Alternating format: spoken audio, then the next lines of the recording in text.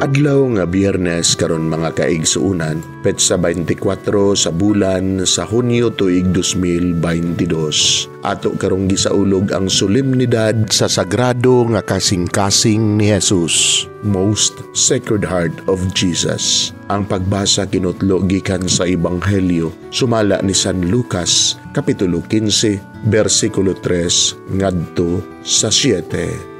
Tungod ni ini misugilon kanila si Jesus ug usa kasambingay. Pananglit usa kaninyo, may usa ka gatos ka karnero ug nawala ang usa ni ini unsa may inyong buhaton. Iyang biyaan ang 99 didto sa sibsibanan ug pangitaon niya ang nawala nga karnero hangtod nga kini iyang makit-an. Sa makit-an niya kini, malipay siya pag-ayo og kini iyang pasanon ug dadon pagbalik ngadto sa ila. Unya iyang dapito ng iyang mga higala ug mga silingan.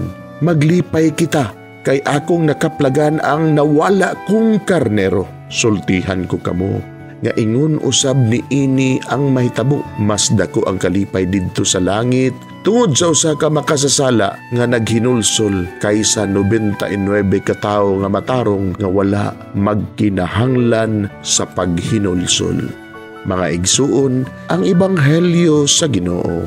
Daigon ikaw o Kristo.